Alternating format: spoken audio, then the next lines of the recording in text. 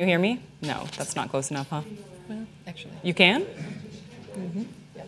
Okay. Not in the house, yeah, because I'm not hearing the, um, We'll do an audio check here for in the house, and you're good? You can- Okay. can people in the audience hear me? I'm not, I don't know. not if they hearing can- it. I can't hear. It's hard to We're doing an audio check. Can anybody hear Jennifer in the back? I don't, I don't want to shout. Yeah, I don't think it's on. I hear something, but it's not very. It's, it's muted? Maybe that's why? Or now it's muted? How about now? Here. Um, How about now? I, I, I can tell you probably. let me- Yeah. Is it? All right, how is that in the house? Rock is turning it up. So keep talking. How about now? Check. Is the mic, Oh, that sounds good. it's on? Okay. Good. We'll just have to remember to turn it back to 50%. But talk, keep talking so we can hear, hear there's Keep talk, talk, Check, check, talking. talking. We love Is talking about talking. It's a fascinating evening tonight. Free ice cream. Yeah, Free okay. ice cream. I got to get the lid to go down on it. So there's orange custard chocolate chip, which is proof that God loves us and wants us to be happy. And then there's vanilla, because even orchids need to have a utility in life.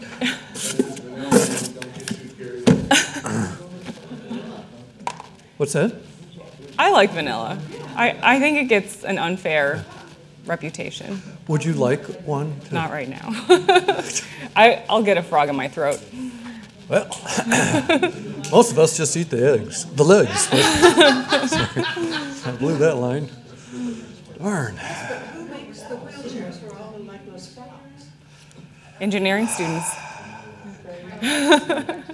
Maybe they just become tadpoles again. All right. Jennifer, can you say a few words again? Testing whether the mic is on. Perfect. Is it? Can you turn your mic off for a second? Off? Oh. No, she wants me to oh. turn mine off. We're also talking to an engineer over at Vinus. One, two, three, four, five, six, seven, eight, nine, ten. It's constantly. You can turn it back on, just don't put it in the same pocket as your cell phone. Does does that make sense? Because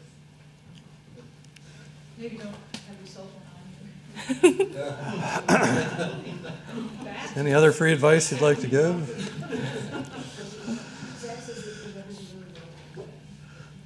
Thank you very much, everybody, for coming tonight.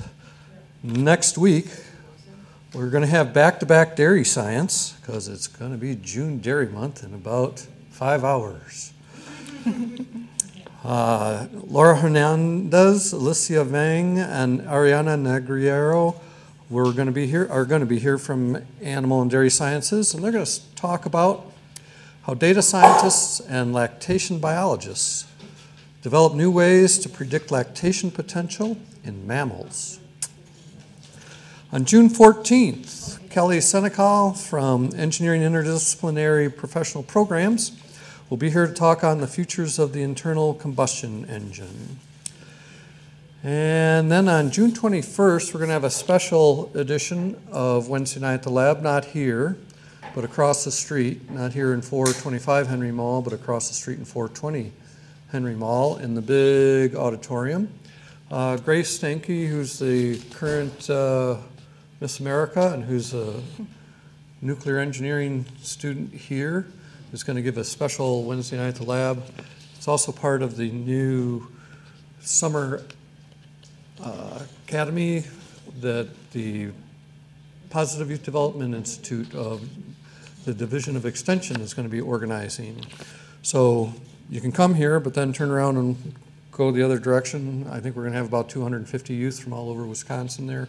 That place seats 400, so I think we'll be doing pretty great. And I think the crew will be there for that also. All right. And then on uh, the 28th of June, Jim Lattis is going to be here from UW Space Place. And that's going to be part of this. Every year we've got, had a meteorology summer camp for high school kids that uh, wasn't able to take pla- place last couple of summers, but this year we're back on. So if you know Jim, uh, he helps run Space Place, the Washburn Observatory. He's got great stories to tell about um, the observatories. And anytime you're ready, I'll start.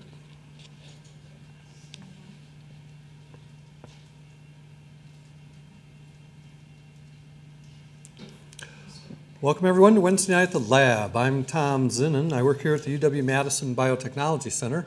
I also work for the Division of Extension Wisconsin 4 H.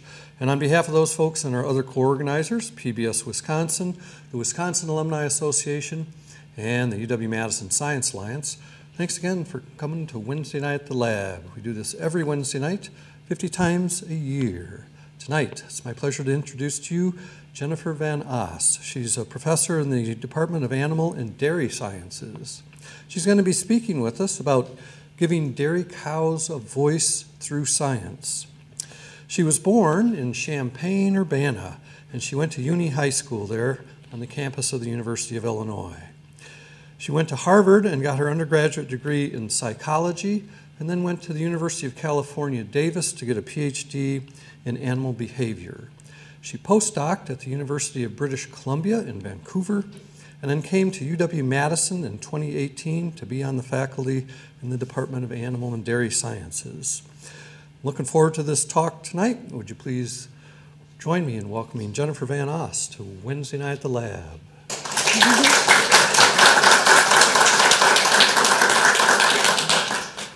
Thanks so much, Tom, for the introduction and for having me. I'm thrilled to be here tonight and appreciate everyone who's joining us either here in person or tuning in otherwise.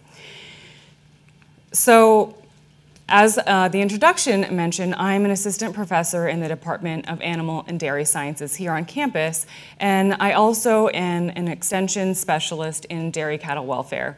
So it really is truly a dream job to be here in America's dairyland to study dairy cattle. It really is the most amazing place to be, not only because we have so many dairy cows, but so many passionate dairy farmers, many of whom are alumni of UW Madison and have gone back into the industry. So, as an extension specialist, when I arrived here five years ago, I went around to dairy producer meetings and I visited farms with colleagues who had been more established with Wisconsin's dairy industry to talk to farmers and try to understand, first of all, what did they think animal welfare meant so we could get on the same page and what were they proud of when it came to animal care but also what were the challenges they were facing so that i could make sure that the research i do in my lab is applicable to the state of wisconsin's dairy industry and so that's why I'm showing the picture here. Um, this is the picture of me on a Wisconsin dairy farm, about 45 minutes drive from here, where I was trying to solve some practical problems that they had with their ventilation system. So I'll talk a little bit about that later. So I like to say that I don't have a traditional teaching appointment here on campus, even though I do work with our undergraduate students, but I do my teaching in the field. And I also do my learning in the field because it's essential that the research we do doesn't occur in a vacuum and we don't just have these fanciful ivory tower ideas that aren't applicable to the industry. But above all, I think it's not only important to talk to the farmers to make sure that the research addresses their needs, but we need to talk to our animals. And so that's why I titled my talk Giving, a cows, Giving Cows a Voice Through Science. That's the unofficial motto in my lab. And so through this talk, I'll take you on a journey so that hopefully you'll understand what I mean by that. So, to start with a little bit of terminology, I think animal welfare is something that almost everybody has some kind of notion of. But my goal today is to show you how we study this scientifically. So, frameworks that we use in the field of animal welfare science, as well as the different techniques that we use to give cows a voice and understand what they need to experience good welfare. So, if we break down the word welfare, we're asking how well an animal is faring. So, an animal can be faring well, an animal can be faring poorly, or somewhere in between. It's a spectrum, and it refers to the animal's status. And so that's why you can see it's actually the downstream outcome. Um, and what happens upstream is the care that's provided by the humans that are um, caring for these animals. So in this case, we're talking about dairy farmers. So dairy farmers are the ones who are providing the housing environments, using certain husbandry practices, and directly interacting with the animals on a daily basis. So when we talk about animal care, those are the inputs into the system and the actions that humans take. And then one of the outcomes is animal welfare or what the animal themselves experiences. So to bring this back to what I see my objective in my job is, is to conduct integrated research and extension projects. So what I mean by that is I like to conduct very applied research. I think basic science is absolutely essential. You hear a lot about that here week to week. But what keeps me going is the idea that the knowledge that we can gain is useful to the dairy industry and for improving the lives of animals. And so I integrate that with my extension outreach to make sure that that research doesn't only end up in a library and is used by other scientists, but also gets out there and can hopefully help farmers and help dairy cows. And so the next step after conducting this research and doing extension outreach is to help us improve our understanding of dairy cattle welfare. What is it that dairy cows or calves need to have a good quality of life? And then that, that can inform best practices for the dairy industry that's founded on the latest scientific evidence. And so when I talk about best practices, what do I mean by that? So this can really vary. From region to region, there are different regulations. In some cases, those can be legislated. And other areas, these standards are determined in different ways. So here in the United States, there is a program, which I think a lot of people outside of the dairy industry might not have heard of, but it's called FARM, which stands for Farmers Assuring Responsible Management. And this has been around for a while, but it's evolved over time. So when it started over a decade ago, it was a voluntary dairy producer education program, similar to what's called beef quality assurance or BQA, which is a rough equivalent in the beef industry, but now these programs have diverged and they have a different sort of model. But they are funded by what's called the dairy checkoff. So every time you buy a dairy product, a small portion of those proceeds goes to this national program um, that funds dairy marketing, but also this program called FARM. And so, with farmers assuring responsible management, there are different pillars. So, this has expanded and now includes things like environmental stewardship or workforce development to help dairy farmers develop their employees um, in terms of their professional development. But the original goal of the farm program was what's called animal care. And so, this is their flagship program, it's still going today. And as we speak now, 99% of dairy farms in the US participate through the co-ops or processors to which they sell milk. So essentially, it functions as a way for farmers to maintain their market. And so it establishes this uniform standard that all, almost all dairy farms in the US agree to adhere to. And again, this is just a minimum bar, so farms can go above and beyond if they choose to. But it's a way for the dairy industry to proactively say as a profession, we agree that we all need to treat cows a certain way at minimum, and we can also do even better. So this is just one quotation taken from the website of this program, which is that it aims to raise the bar for the entire U.S. dairy industry by establishing dairy animal welfare management guidelines. So there is a booklet, it's the manual, and it's publicly available freely online. You can go see it's about a 100 page PDF document. And this is updated on normally a three year cycle because of the pandemic, it's offset a little bit. So we're currently in what's called version four of the farm program, and then version five will go into effect about a year from now. So I sit on what's called the Animal Care Task Force. And so this is a committee of different people across the US that includes academics, welfare scientists such as myself, veterinarians, dairy producers, and representatives from these co-ops and processors. And it's important that we have this diversity of viewpoints and diversity of expertise so that we can make sure that these requirements are science-based, but also practical and achievable for the dairy industry. And one of the mottos of the farm program is continuous improvement. So, continuous improvement in terms of animal care practices used on the farm. So, encouraging this bar to always grow higher as we learn more and more about animal welfare science, but also continuous improvement of the program. So, acknowledgement that there is kind of a learning curve in terms of establishing a national standard and trying to make this program more and more rigorous. So I just want to point out that the work that I do, um, it isn't just idealistic. It's not just me out there alone. There are other welfare scientists, veterinarians, people who study animal health, animal welfare. And our goal is to make sure that this information is accessible and that the expectations that we have of farmers are grounded in science, but also are informed by the farmers' voices as well.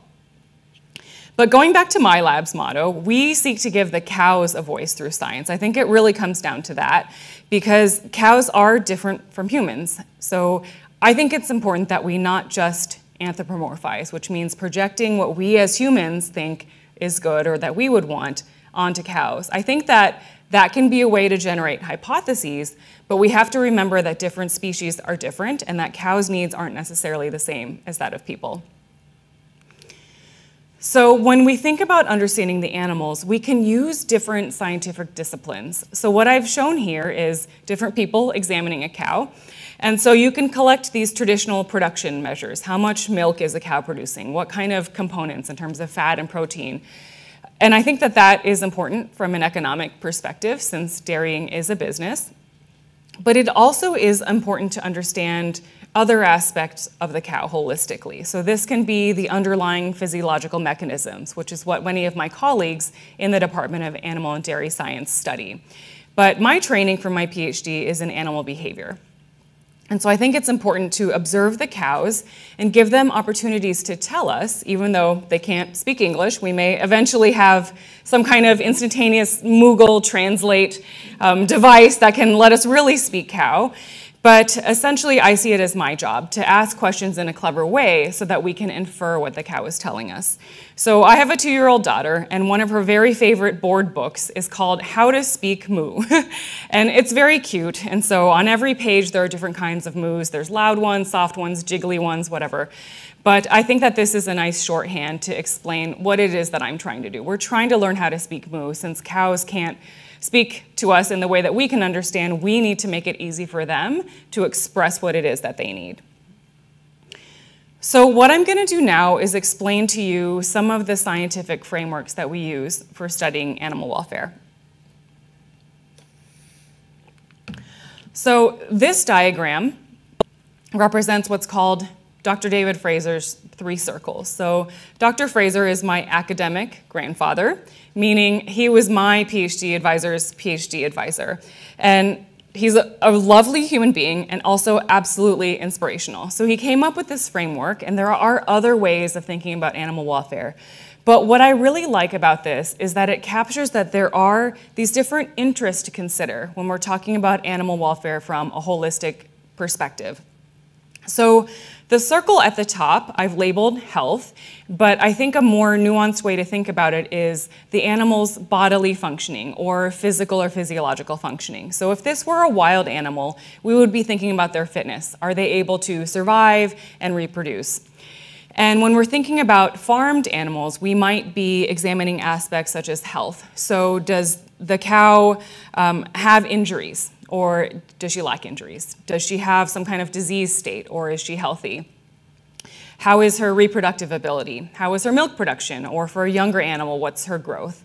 And so all of these things are definitely important. I think it's very intuitive and obvious why. And there are decades of animal science and veterinary science research into understanding this aspect of animal welfare. But I think it's important to note that animal health and animal welfare are not synonymous. So, no, I'm not a vet. Sometimes I wish I was. Um, there are lots of things that I can't answer because I don't have that kind of training. But what you can see is that good health is necessary for good welfare, it's a component of it. But it's not sufficient. We have to think about other aspects of the cow's quality of life to really understand her welfare. So what I'm going to point to then is this circle on the lower left corner that's blue. And so I've labeled this with a shorthand as the cow's feelings. And I think sometimes calling it that can get a little sticky depending on who you're talking to, but that's the shorthand. The scientific jargon is the cow's affective state. So this means her emotional state or subjective internal mental experience. And I think this is really key. And it's why we have the entire field of animal welfare. So, what is the difference between farm animals and farmed plants when we talk about other aspects of agriculture? And it's that plants are not as far as we know right now, sentient. So there are people who study the biological functioning and health of plants. There are plant pathologists. It's very important. But we're not concerned that plants can suffer. But we are concerned that farmed animals can suffer. And so through decades of scientific research now, we have been validate that farmed animals, including dairy cows, are able to experience positive and nef- negative affective states. So again, we're not trying to anthropomorphize. I think there's been really fascinating research on species such as primates or elephants, looking at these very nuanced emotional states that can seem very human-like. So uh, you may have seen videos of monkeys who seem like they're jealous of other ones. That's not what I'm talking about here. So when we talk about dairy cattle, what we need to acknowledge is that there are very negative states that people might describe as suffering. So this can be pain, fear, stress, and these are things we want to avoid. But on the flip side, we know that they can experience positive emotions too. So, this can be emotions such as comfort or contentment or reward, and that we want to promote the opportunity to experience these positive affective states. So, of course, one of the things that can influence an animal's affective state is her health status or her biological functioning. If she's not feeling well physically, she might not be feeling well emotionally. But that's where this third part of the Venn diagram comes in, because we know that there are things other than just, I put that in quotes because obviously health is important, but there are things other than just an animal's health that can affect her subjective experience and her overall quality of life. And so, as a shorthand, I've labeled this behavior. And I think it's better described as the ability for an animal to perform species relevant natural behaviors or important natural behaviors. This doesn't mean all natural behaviors, but ones that lead to a positive affective state or minimize negative affective states. So, what do I mean by that? There are natural behaviors that are not necessarily something that the animal wants. And for example, that could be being chased by a predator. that is natural. A lot of animals have anti predator responses. It doesn't mean that if in captivity they don't have a chance to express that, then they have a negative affective state. But on the flip side, there are certain behaviors that are relevant for a species that are important for them to perform. And if they don't get that opportunity, they can experience negative emotions such as frustration or stress. And so I'm calling this behavioral well being, just as a reminder that it's not just physical health, but also this emotional health. Okay, so now you've had Animal Welfare 101. We talked about Dr. Fraser's three circles. And again, the reason I like it is because I think it really captures this holistic idea of animal welfare to help us think through which aspects of welfare are certain management practice addressing. Are we providing an animal with good biological functioning and physical health, but missing out on opportunities to allow her to express important behaviors? And it, it helps remind us to think about these three different aspects. Many of you may have heard of a different framework. So, how many people here have heard of the five freedoms? That's totally fine. So, what you might have seen this if, say, you're somebody who uh, is already interested in animal welfare and you're concerned about where your food comes from. Your favorite restaurant chain or grocery store may have an animal welfare statement on their website. And if they do, there's a very high chance that what they're going to show is that they believe in the five freedoms and expect their say, dairy suppliers to adhere to the five freedoms. So this is very historically important. And so the five freedoms are that the animal should be free of hunger and thirst. These are negative emotions, which is why I've color coded them blue. Freedom from discomfort, again, a negative affective state. And then freedom from pain, injury, or disease. So, pain is a negative emotional state. Injury, injury and disease threaten the animal's biological functioning. And then freedom to express most natural behavior. Again, there's this caveat of most because not all natural behaviors are desirable or important. So you can see I've color coded that in green. And then finally, the freedom from fear and distress. Again, negative emotions. And so you can see with the five freedoms, they are touching upon all three of Dr. Fraser's circles. Um, and you can see they're, they're also heavily weighted towards the animal's affective state because, again, it comes down to what is the cow's quality of life? What is she experiencing subjectively? But I like Dr. Fraser's circles because you can see it's, it's color coded. It's very easy to organize your thoughts using the three circles. So, coming back to this idea of how do we give cows a voice, I think it is easy to objectively measure things like biological, biological functioning. It is more difficult to measure these other aspects. So, what is the animal's subjective mental state? What kinds of behaviors are important for her to perform? So, what I'm going to mainly talk about today is the green circle. How do we understand what a cow wants? And so, what we can do is provide opportunities for them to tell us, and we can then measure and quantify either what it is that a cow prefers and what is important to them and how important is it. And by allowing them to express those things, we can gain some insights into their behavioral needs and improve their welfare by working opportunities into their environments for them to express those behaviors.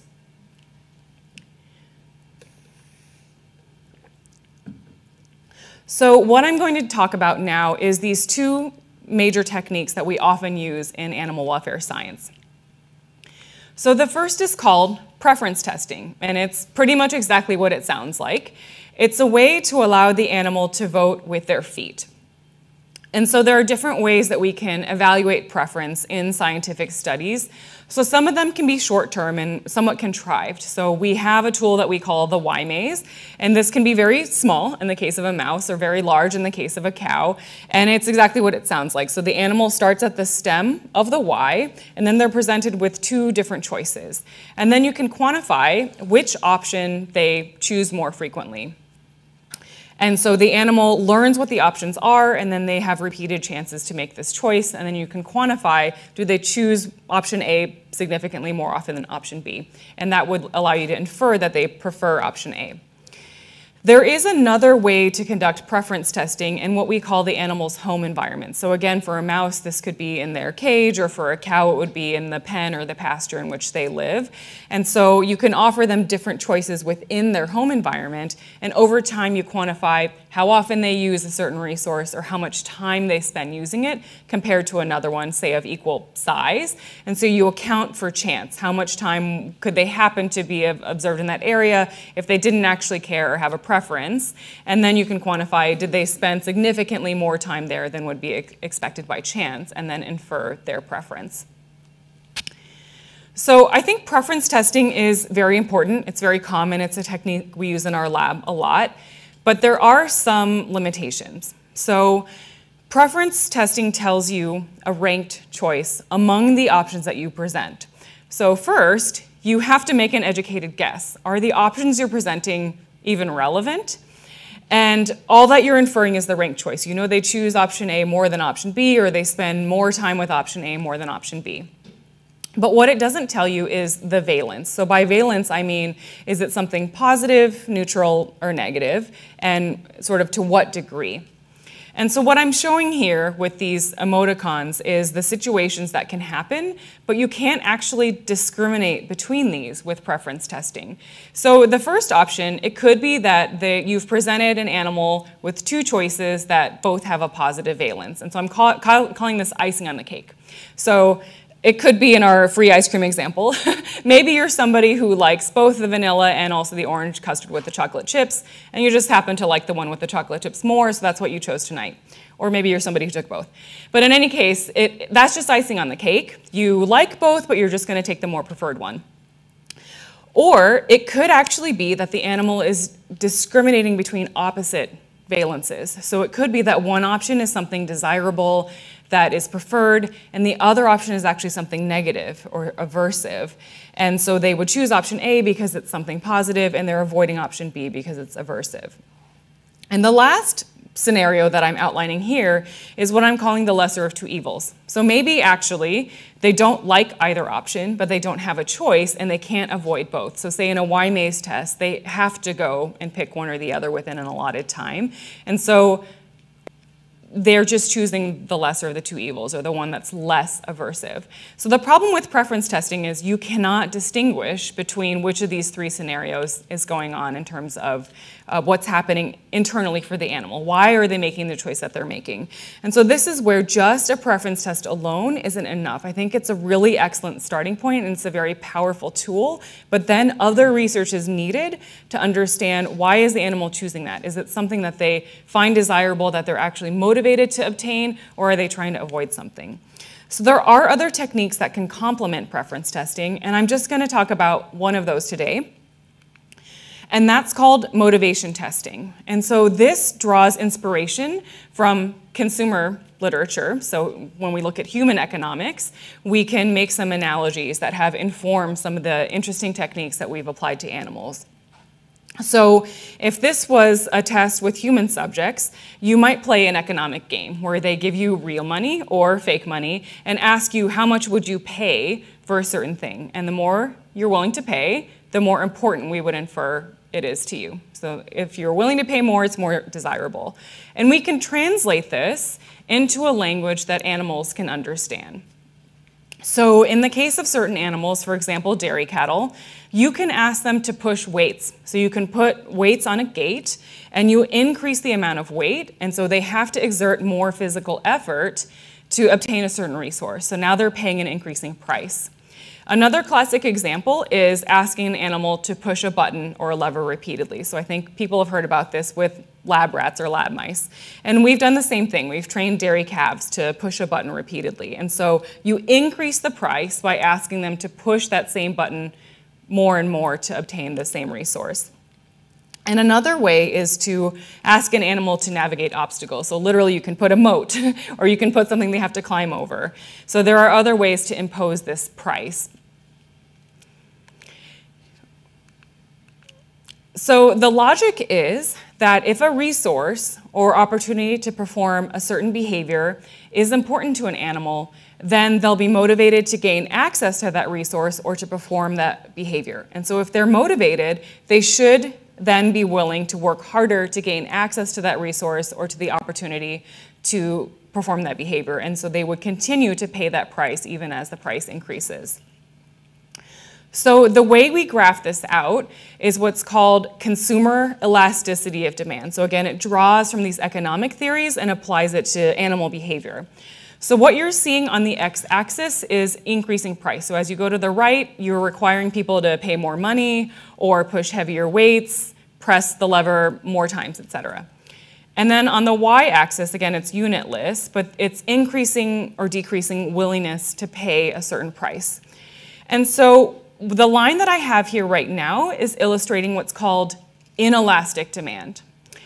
And we can classify things as essentials if you see this pattern of relatively inelastic demand. So that line doesn't have to be flat, but it's relatively flat. So you see that as the price increases, the demand doesn't decrease that much. And so the example I've put here is an egg because it's something that I think many of us have experienced recently. So as a result of the avian flu, egg prices went through the roof and we went from paying less than $2 a dozen to like $12 a dozen at one point. And my family continued to buy eggs. We just maybe ate fewer at a time and, and, stretched it out a little bit further. So our demand for eggs was relatively inelastic. We saw this as an essential or staple in our household. But um, yeah, so, so as an example for how you would evaluate this in dairy cattle, we have what we call a referent, so th something that we know is really inelastic for them. So in the case of dairy cattle, we know that they're highly motivated to gain access to fresh feed when they're hungry. It seems intuitive. But this is something that we can impose in a testing scenario. So we can say, deprive them of feed for two hours so that they get a bit hungry, and then we know that they'll be willing to pay this price. So even as the price of gaining access to feed increases, we know that they'll pay that price because they're hungry, and so they'll do the work to obtain access to fresh feed. Okay, but shifting to a different example line now, this blue line, I'm contrasting this with the one I showed you for inelastic demand. So this is illustrating the concept of elastic demand. So you can see that as the price increases, now the willingness to pay goes down much more steeply. And so you could consider something to be more of a luxury, less of an essential, if you see this steep decrease in demand as the price increases. So the analogy I've put here for me would be concert tickets. So back in the day, I used to go to a lot of rock concerts. It's something I enjoy a lot. But nowadays, not only has the price gone up, but also the fees on top of those. And so for me, I've decided to go without. I don't go as frequently anymore. I'm not willing to pay that price, even though it's something I enjoy. So what I'm going to do now is walk you through an example of how motivation testing can be applied to understanding what's important to dairy cattle specifically. So sometimes dairy cattle are housed in environments that lack some opportunities to perform certain natural behaviors. And when that happens, if an animal has a highly motivated natural behavior that it would normally desire to perform, and it's unable to do so, she can experience negative affective states. So this can be boredom or frustration. And this can result in the animal performing abnormal behaviors. Ab, sorry, abnormal behaviors. And that's something undesirable. It's an indicator of possible negative welfare. So, as an example of a natural behavior that cattle are highly motivated to perform, um, we can talk about grooming. So, there is a way to give cattle opportunities to perform this natural behavior indoors. So, if you house cows outdoors, they will often rub against fence posts or trees or other objects to groom themselves. And when they're indoors, this can translate into them rubbing on objects in the pen, that's maybe not so desirable. And so a lot of dairy farms do provide these rotating mechanical brushes. And these aren't just repurposed from car washes, although they can be. These are actually custom built for dairy cows, and there's many different manufacturers on the market now that market these for dairy cows. And the reason is severalfold. So, first, there is a benefit for the cow's biological functioning. So, by grooming themselves, they can remove ectoparasites, they can remove dead hair. It's something that improves hygiene and cleanliness. So, a lot of dairy farmers were originally drawn to this idea for milk quality purposes. So, they want to have clean cows and good hygiene on the farm. But it's also something that research has shown is important for their welfare in terms of addressing this desire to perform a highly motivated behavior. So this is a photo taken at the University of British Columbia's Research Dairy where I did my postdoc. I'm not the one who did the study, so I'm just giving you an example of one of the studies that they did. But they used motivation testing to try to quantify how important is it for cows to have access to a brush. And so the graph I'm showing you here should look somewhat familiar. It's an example of this consumer elasticity of demand.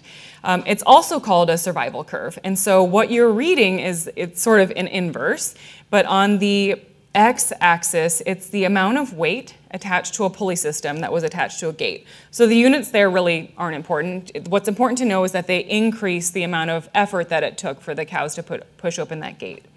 And then on the y-axis, what you can see is the proportion of cows that were willing to push. So in the beginning, when there was no weight on the gate, you can see it's at 100%.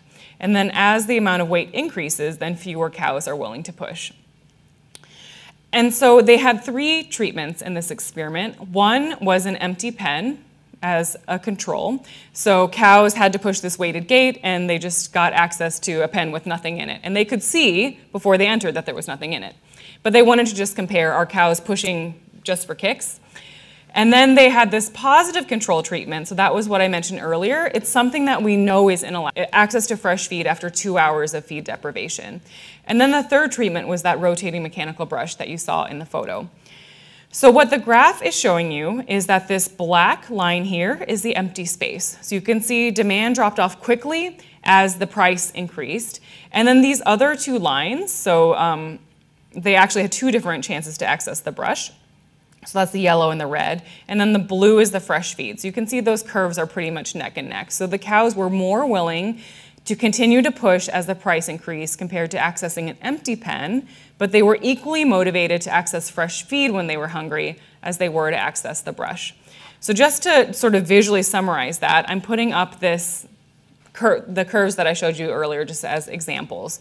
And so you can see the demand was not perfectly inelastic when it came to the brush or the fresh feed, but it was much more elastic for the empty pen than it was for these other two resources. So what they inferred from this study is that cows do care a whole lot about access to this brush. They care just as much as they do to access fresh feed when they're hungry, which is the gold standard they were comparing against. So I think that this is a really great example of how we can ask cows questions about what is important to you and how important is it. I want to shift to talking about a little bit of the work that we've done in my lab. So we've looked at other age classes as well. So what I'm showing here is a picture of some heifers. So these are future milking cows, and they've already been weaned off of milk, and now in their, they're in the growth phase, but they're not producing lactating cows yet. And we wanted to look at ways to give this age group access to brushes in a simpler, maybe more affordable fashion, because these large, fancy rotating brushes cost thousands of dollars. It's a big investment, and a lot of dairy farmers do invest in their cows and provide them. But we wanted to see if there was a practical, lower barrier option for them to enhance their animal care without this huge financial burden. So we went to the hardware store and we bought some deck scrub brushes and we mounted them on the walls. And we wanted to see how these weaned heifers would respond. So one of the things we looked at was how quickly did they approach them? Because dairy cattle are by nature very curious, but they are also sometimes a bit fearful of novelty. It's called neophobia. They have reason to be skeptical because they are prey animals. And so sometimes when you put a new object into a pen, they will avoid it. They'll stare, but they'll kind of avoid because they aren't sure if it's a threat. But what we found was that for these heifers, they had never seen a brush like this in their lives. But on average, it took them less than four minutes to start using them. And some heifers started using them within eight seconds. So it was something that they were just drawn to, and they started using them right away. And what I'm not showing on this slide is that we also had an element of a preference test. And so we had mounted these brushes in different orientations, either vertically or horizontally. We had bristles of different stiffnesses because some manufacturers market softer bristles for calves, softer and gentler. We wanted to know, do the calves actually care? And what we found was no preference. But in this case, we actually thought that the lack of preference was informative because it meant that dairy producers have flexibility in how they provide this resource to the calves. So it, our message was, it actually doesn't matter which direction you mount it, it doesn't matter what kind of bristles you buy, they will use them. And so in this case, the lack of preference was actually useful information. And another thing that we found was that this younger age group used these brushes in different ways. So with the rotating brushes, cows are primarily using them for grooming, but with these simpler brushes that don't rotate, what we found was that the younger animals were in fact grooming themselves as expected, but they were also doing a lot of what we called oral manipulation. So they were licking the brushes, chewing them, and exploring them with their mouths. And we thought that that was really interesting.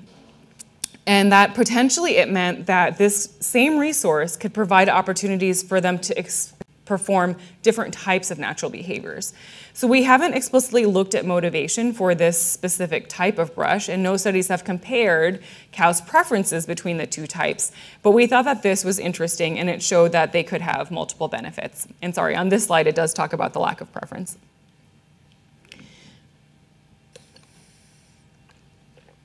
So I'm going to shift gears and talk about a different example of another topic that we look at in my lab.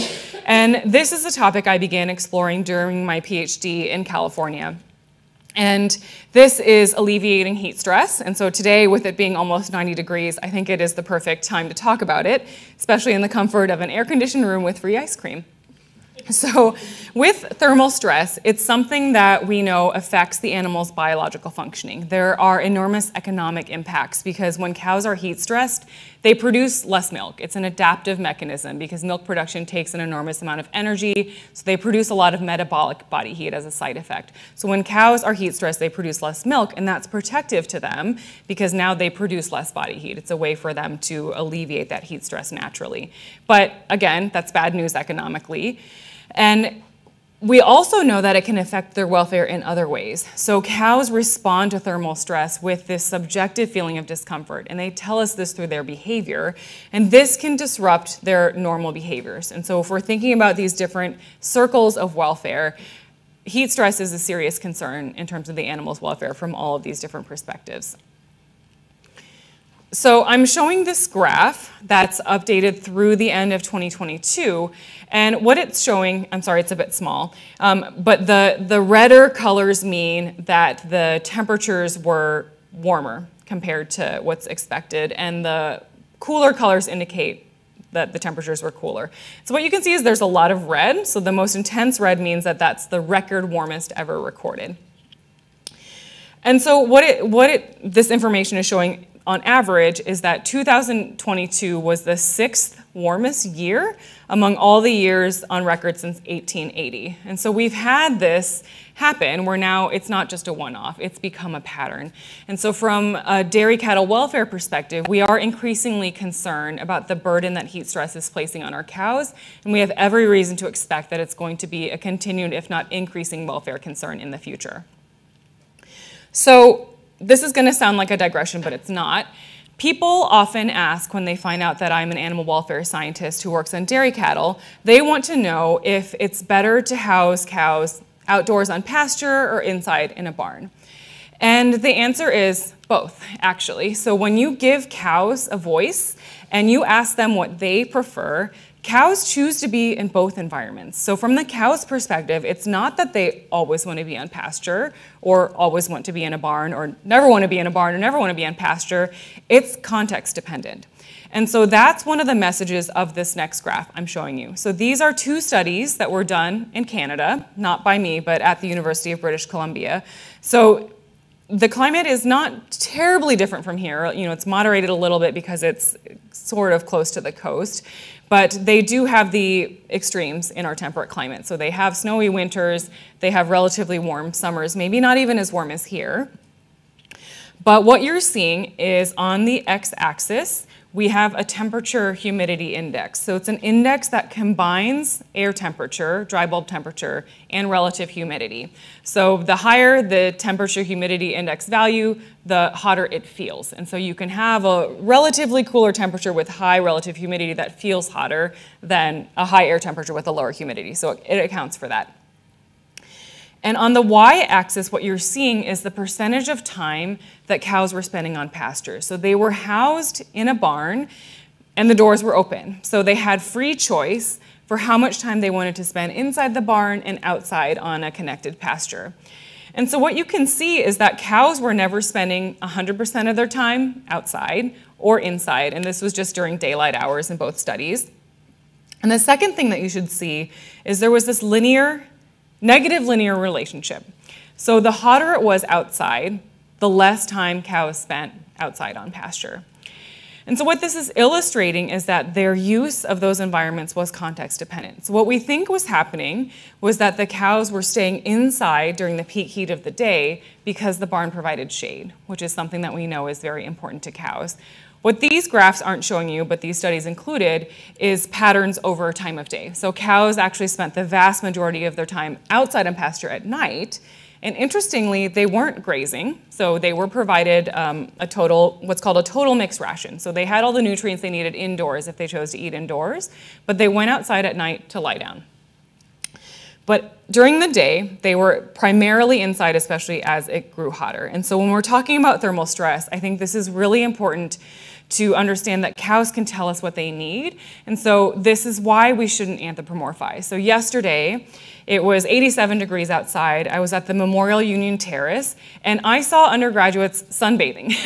and I am not heat tolerant. I wanted to sit in the shade. And so I think for a lot of people, they would think, you know, cows want to be outside on pasture. They want to feel the sun on their backs because that's what I like. I want to be out sunbathing. And that's absolutely not the case for your average dairy cow. They are what I call metabolic athletes. It takes a lot of physiological work to produce that amount of milk. So they start to feel hot at a lower threshold than we as humans do. And so, again, this is why it's so important to give cows a voice. So we know that cows are highly motivated for shade. So the study I'm going to talk about was done by a collaborator in New Zealand. And what they did was they set up a trade-off. And so instead of having cows push weights, because physical exertion generates body heat, they had to find a different way for cows to pay a price. So we know that for dairy cows, they need to spend approximately half of their day or more lying down. It's how they rest. So unlike horses who sleep standing up, cows actually do need to spend a great deal of time lying down. That's when they do a lot of their ruminating and chewing their cud and digesting. So in this study, what they did was they built a structure on the ground. It was kind of a grid. So it was uncomfortable for cows to lie down. So they essentially were forced to stand up for 12 hours straight. And then they gave the cows a choice. So now they could go lie down, but that area was still in the sun. Or they could continue standing up and do so in the shade. And what these cows chose to do was to keep standing, even though they were fatigued and they need to spend at least half their day lying down, they chose to keep standing up because that's how important the shade was to them. And this same research group in New Zealand, um, and I should say that they house their cows on pasture. So this is where this question of shade access is so important because they're not typically housed inside of a barn. So in a different study, they used preference testing. So again, these techniques can complement each other. And in this study, they set up a Y maze, and the cows were exposed repeatedly to three different options so they could understand what they were choosing. But then they were offered the choice between only two options at a time so that they could rank order these preferences. And so the three different choices were a shade structure, no shade, so just ambient conditions and direct sunlight, and then sprinklers that would shower the cows with water, which would help them cool down, but these showers were not shaded. And so they also measured the cows' thermoregulatory responses, and they found that when the cows were unshaded, they accumulated heat. So their thermoregulatory responses showed that they became even hotter over time. When they were shaded, it kept them from gaining heat from solar radiation. But when they were soaked with water, they actually actively cooled down. So the water soakers were the most effective when you looked at the biological functioning perspective. But that's not what the cows chose. And that shows, again, how important shade is. So when they were comparing the choice between the shade and the sprinklers without shade, cows chose the shade significantly more often. And of course, they chose the shade more than the direct sunlight.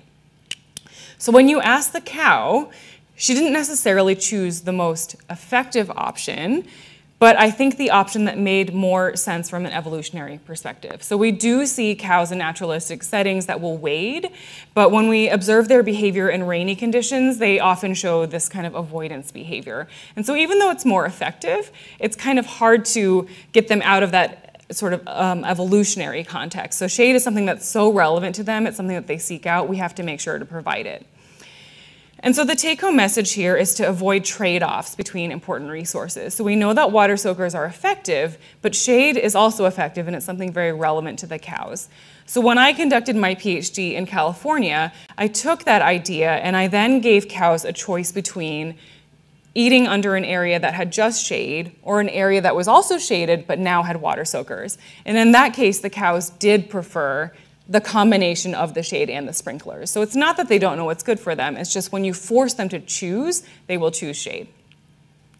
And so what this graph is showing is I just have 24 hour air temperature in degrees Celsius, so not the temperature humidity index, because in this environment, the relative humidity was so low that it didn't make any difference. And then what you're seeing here on the y-axis is the percent of time they spent in the option that had the combination of shade and sprinklers. And then there's a dash line here at 50%. So what you can see is that when these resources were combined, the cows were spending the majority of their time under the shade with the sprinklers and not just the shade alone. So as long as you combine the resources, the cows do prefer that, and that magnitude of preference increased in warmer weather. So when I moved here to Wisconsin and I was talking with Wisconsin dairy farmers about their concerns around animal welfare, a lot of them did bring up heat stress. They know that even in this continental climate where we have long, cold winters, that heat stress is still a concern in the summer. And although some farms in this region do use water soakers, um, a lot of times they had questions about ventilation. So this is something I didn't work with in California. There, the barns tend to be open-sided. It's a different climate. It's a different system. But it, it got me thinking about how to address some of these concerns. So going back to my very first slide showing me inside one of these Wisconsin dairy barns, I got a lot of questions about well, how exactly are we supposed to calibrate our fans? So it's very common that dairy producers have fans installed, but just the presence of a resource doesn't mean that it's effective. So my analogy is if you walk into somebody's home and you see that they have a treadmill, that doesn't necessarily mean that they're physically fit. They could be using it as a clothes drying rack. And so you actually have to measure some outcomes to know if that resource is delivering the intended effect. And so that is what we did here when we were evaluating the use of fans or other mechanical ventilation systems in dairy barns in Wisconsin. So what we did here was we calibrated the fans to deliver a specific airspeed as measured at the cow's resting height because there can be a lot of problems with the fan installation where even if you have a very powerful device, if it's not aimed correctly, it's not going to reach the cows and deliver this intended effect. And so it sounds really obvious, but this was the first study that looked at calibrating the air speeds at the cow's resting height to provide this fast moving air where they need to spend at least 12 hours a day lying down.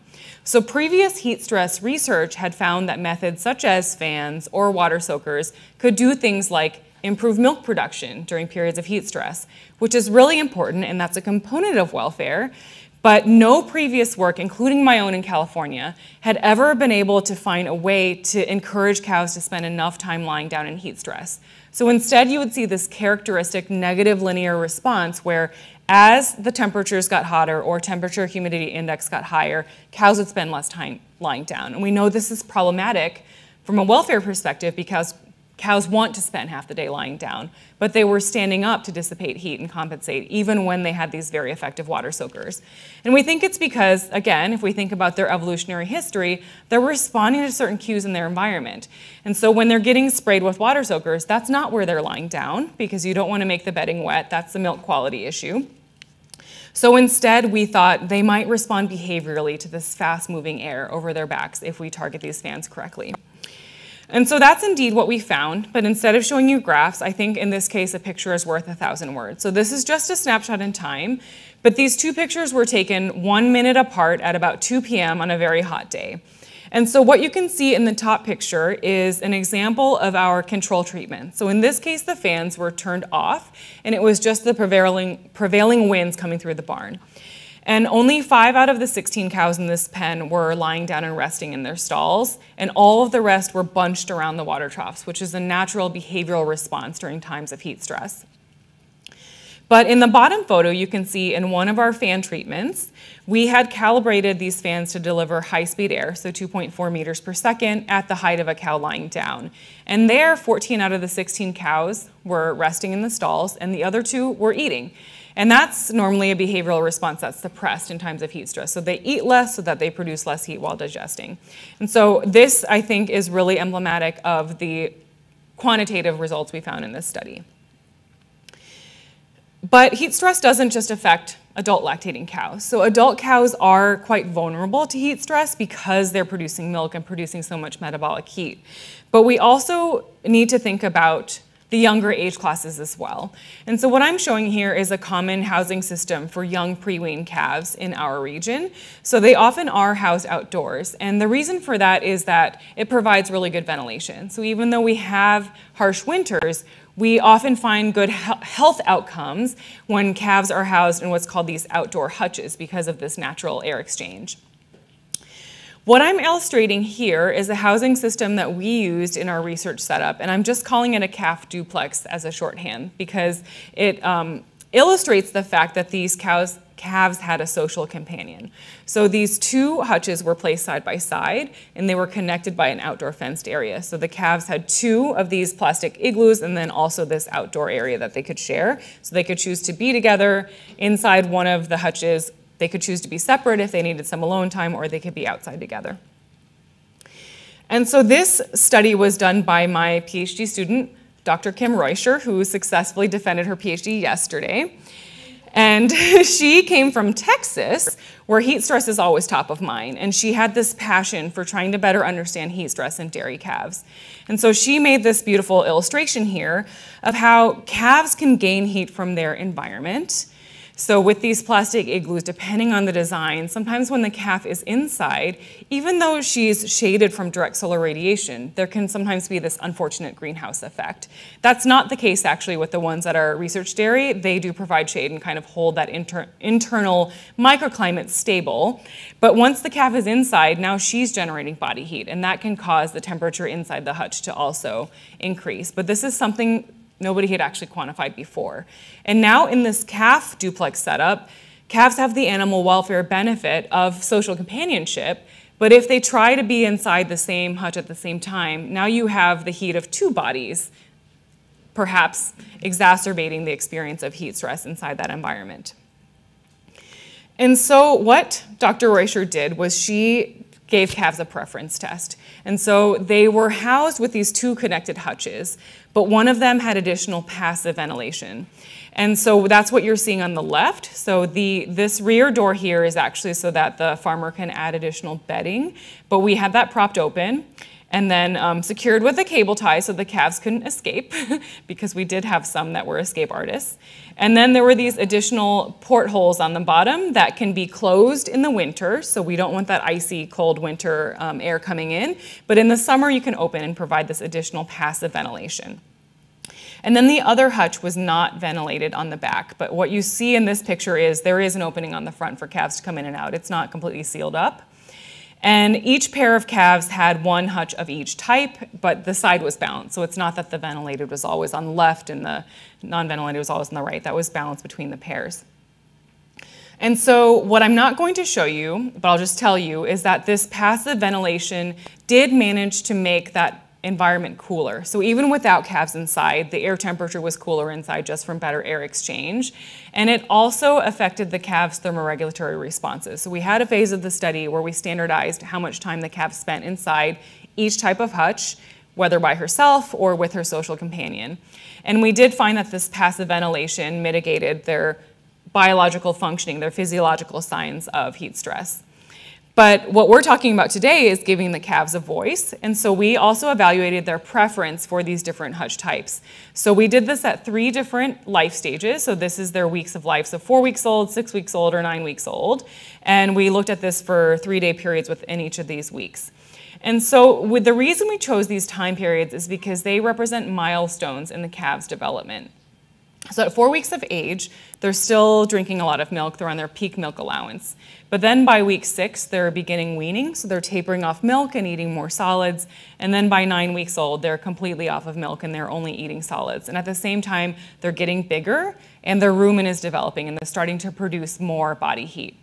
So what you can see is that when they were four weeks old, there's this dashed line here indicating 50%, which would represent chance or no preference between the two hutch types. And indeed, when they were at that age, they spent about equal time in both the non ventilated and the passively ventilated hutch. But then by the time they were six weeks old, and again when they were nine weeks old, they developed a significant preference for, for spending time in the ventilated hutch. And they were often found there together. So even though we found that when two calves were inside the same hutch, that did increase the heat load on the calves, the ventilation could mitigate that, and that's what the calves preferred. And so the calves were able to tell us that they were attracted to this environment that provided a more thermally comfortable place for them to spend time.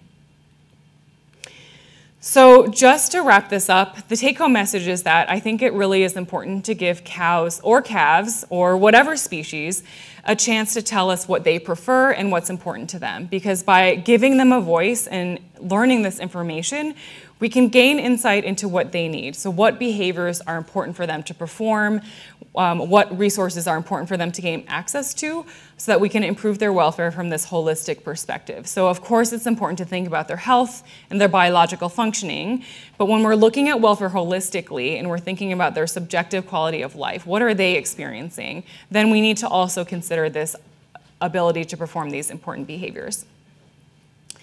So I know that we'll have a bit of time for questions, but if anybody thinks of any some other time, I, also, I always welcome you to reach out. Email is generally the best way to reach me since I'm not always by my phone. And so you can email me at jvanos at wisc.edu. And then I have a shortcut for my um, website. So if you've seen one that has cals.wisc.edu, it takes you to the exact same place. Um, and so we have some resources there, some videos, some fact sheets, and I always welcome you to reach out. So thank you very much.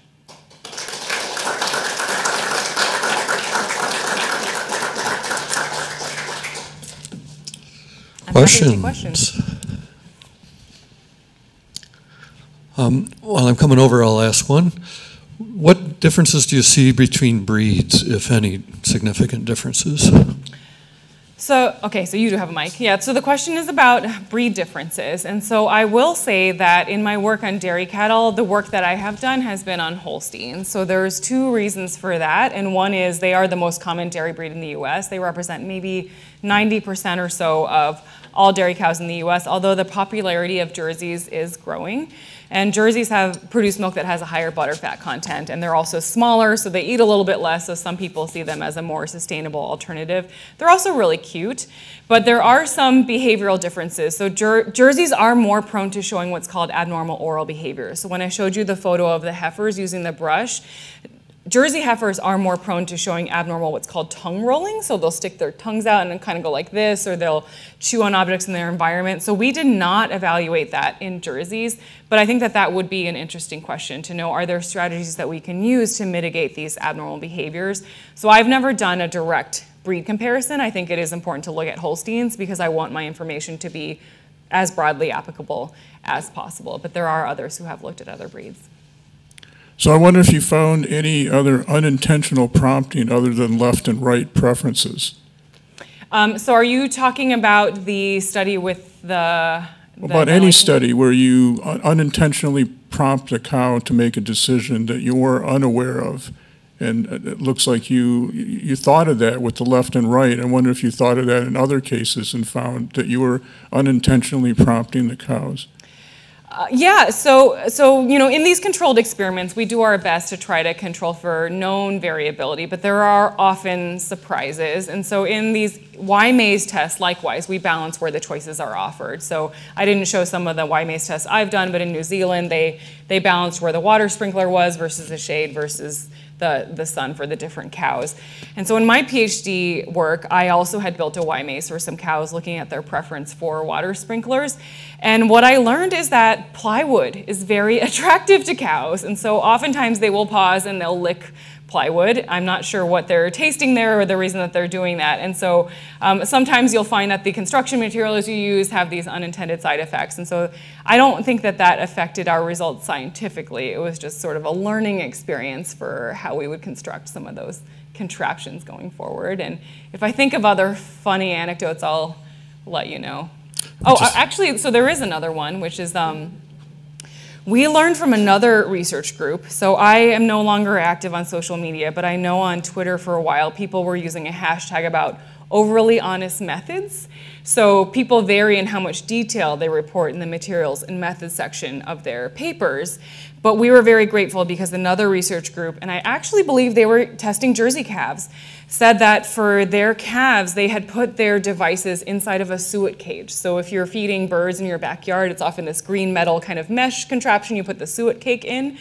And we thought that was brilliant because calves do have a lot of this oral manipulation behavior. So when we were logging the temperature and relative humidity inside of these calf hutches, we put our devices inside of suet cages to protect them from the calves. So we were very, very grateful that another research group was able to prevent us from having this unanticipated finding. Yeah. I think that your hand was up first. Yeah, I'll do Dareth first here. The calves uh, impaired hutches, has that been replicated elsewhere and in other climatic conditions? Yeah, that's a great question. So we were not the first ones who had that idea, and there were a couple of papers from Canada that had used that kind of method with the duplex hutches, and there were a couple from Ohio. And now I'm seeing some producers use that in in this region, so sort of Midwest, places with continental climates, so Midwest or Northeast or Canada where these plastic hutches are common. And the reason I recommend it actually is not because I think it's ideal, it's because I think it's pragmatic. So for producers who are trying to shift away from individual housing of their calves towards pair or group housing, it's a way for them to use their existing infrastructure without having to make a heavy financial investment such as building a calf barn when they didn't have one before. So it's a way for them to tiptoe in and see how it works for them. But one of the downsides is that it has these two separate indoor spaces and one outdoor space, so it's kind of complex. Whereas some farmers already have a calf barn, and if they have individual pens, they can remove a divider. So it's just a larger rectangle. So it's the same square footage or square meters per calf, but now it's just a connected environment. The problem with the environment that I showed is that calves do strongly prefer to be together in the same hutch. And in that case, they don't have the same square footage per calf that they did before. So now two are squeezing into there, and as they're growing, it becomes more and more challenging. So what I didn't show is Dr. Reuscher actually had a winter version of the study because she hypothesized maybe that's the bad thing in summer because two calves in one hutch makes them hotter. But in the winter, that could have protective effects. And so our results there weren't as clean, but we did find some preliminary evidence. But ours was the first study to look at those outcomes. So I think more research is needed. In other climates, producers have taken different approaches. There actually are a lot of different options for pair or group housing calves, and that's a message that I often talk to the dairy industry about is it's not cookie cutter, it's not one size fits all. There are a lot of options, and now calf housing manufacturers have caught on and they're offering options for pair or group housing. So I saw a photo recently, it was from a calf ranch, I think in New Mexico where the climate is quite different, but they understand how important shade is. And so they've constructed their pair housing entirely out of wire mesh. So the sides are four sides just wire mesh, but then there is a shade on top. So the calves have protection from direct sunlight, but there's no greenhouse effect and there's a lot of natural airflow. So it really depends on how much capital a producer has to invest in their housing, what kinds of modifications they're willing to make. But I would say this duplex igloo system is kind of regional This might be a myth question. I've always wondered. Um, so does classical music actually help cows produce more milk? Because I know USSR and communists tried to do that, but I'm not sure if they were really successful. I'm not 100% certain of the answer about the effect of music on cows. Actually, I have a. So, do you have the answer, or were you going to ask something else? Oh, no, no, no. Um, I, am not exactly sure. There are some studies looking at the effect of noise on cows. So, so certain kinds of noises, loud noises, can cause stress. So in terms of classical music, I'm not sure. I was very delighted to see a paper a few years ago out of UW Madison looking at custom music for cats. So it was a collaboration between some kind of cat specialist and somebody in the music department where they were thinking about the evolutionary history of the cat's vocalizations. And instead of classical music for humans could you adapt the sounds to something that the, the cats would like? And i don't remember exactly what they found but for cows i don't have a direct answer to the effect of classical music on the cows. It's an interesting one.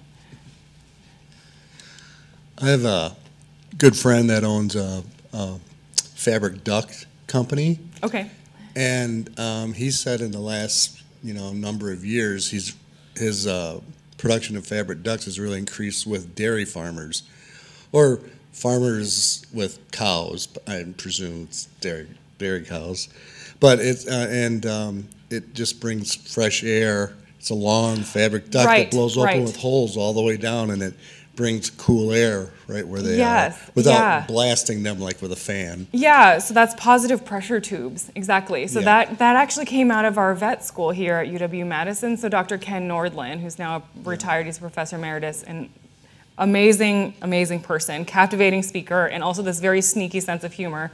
Um, but yes, that, that is something that has come into play, not just for reducing heat stress, but also providing better ventilation in calf barns to make sure that we're keeping respiratory pathogens out. But yeah, absolutely. That's something that I learned when I came here because I hadn't seen that in other regions before. Yeah. Positive, pa- pa- positive pressure tubes. Yeah. What's the status of companion animals for improving welfare of dairy cattle? So you mean like instead of housing calves together, giving them some other species? Having, yeah, mixed species, um, whether it's something from long ago or I don't know if people are doing it now. No, I, I really appreciate that question actually because I'm not aware of any papers that have directly evaluated it, but I think in the future, um, if this trend for pair housing continues, so actually not in the US, but in other places of the world, it's starting to become required. So in the EU, there are certain places where calves have to be housed in pairs or groups after a certain age. Um, and actually in Canada, it's part of what's called the Canadian Code of Practice that there is going to be an expectation. It's not explicitly required in the US, although at least a quarter of farms are already doing this, and there's been a lot of discussion in the past few years, which is why it became an area of my own research and extension. This is something that Wisconsin dairy farmers asked for, but it can be a challenge for smaller farms. So on large farms, many calves are born per week or per day, and so it's easy to pair calves together who are the same age. And this is really important because neonatal calves don't have a developed immune system yet. And so if you have older calves that are bringing pathogens to younger calves, that's a huge health risk. And so they need to be close in age. But for a very small dairy farm, they often don't have heifer calves born close in age. So even if they have a desire to house calves in pairs, it's not practical. It can be very risky. And so we have had this discussion in the industry. What are creative strategies for small dairies to be able to give their calves proper social companionship? And so people have asked me, can I give my calf a goat or, or something? And, and I don't have scientific evidence to support that, but I think that's an interesting idea, interesting hypothesis. There would be some concerns potentially about you know, transmission of certain disease between species, but it's something that could be tested. Other questions? There you go.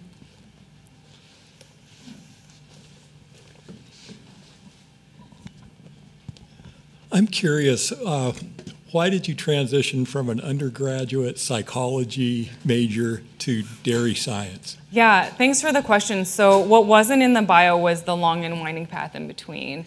So, I was an undergraduate psychology major, and I had these amazing opportunities to do undergraduate research. So, I did a senior's honor, senior honors thesis. It was later published, and my advisor was a neurologist at a hospital who worked with Alzheimer's patients. And then I was co-advised by a professor in the psychology department.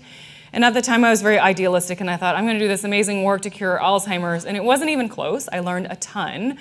Um, but my topic that I chose, they gave me a lot of independence, was metacognition, which is as esoteric as it sounds. So, what I was curious about was as patients develop Alzheimer's disease, how aware are they of the disease process and how does that affect their memory performance but also other aspects of their psychology? You know, if you're aware that you have this disease, how does that interact with the, your memory performance?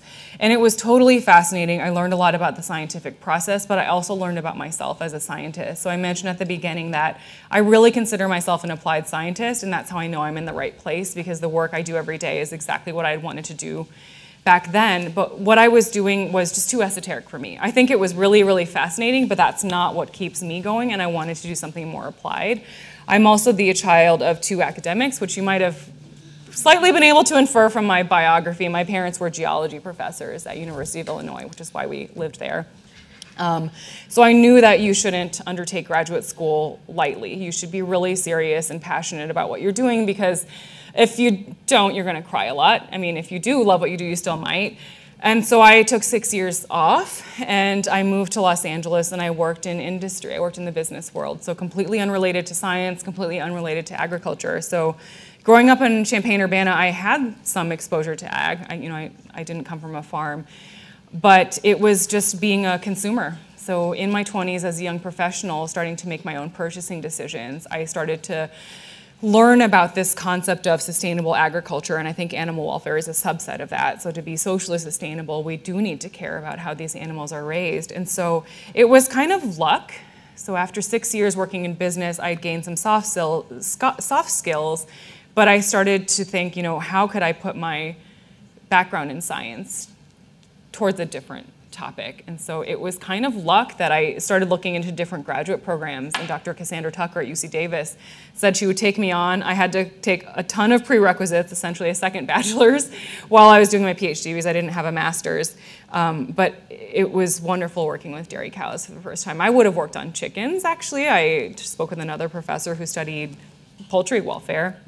I just wanted to make a difference, and I felt so fortunate to work with dairy cows because I didn't know that they are so curious. They're really fun to work with. People have this mental image that cows are docile, maybe kind of dumb. They're not. They're wicked smart and really curious and can cause all sorts of problems with your studies, but it makes them really, really fun to work with. So I consider it just all the pieces falling into place, but it was not it was never a direct path. And so it's really an honor and a privilege to be here in Wisconsin now, working on dairy cattle welfare. I couldn't ask for a better job.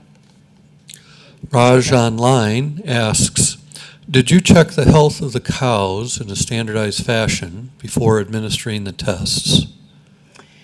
Um, so, it, depending on the study, so when it came to our adult lactating cows, we did have some enrollment criteria. So, yes, we, we relied on the judgment of the farm staff and the herd veterinarian. And so, we excluded cows who have lameness, which is a gait abnormality or difficulty walking, which reflects some kind of pain or discomfort in their ambulatory apparatus, because we are looking at lying and standing behavior. So, if they're lame, that's going to affect that behavior.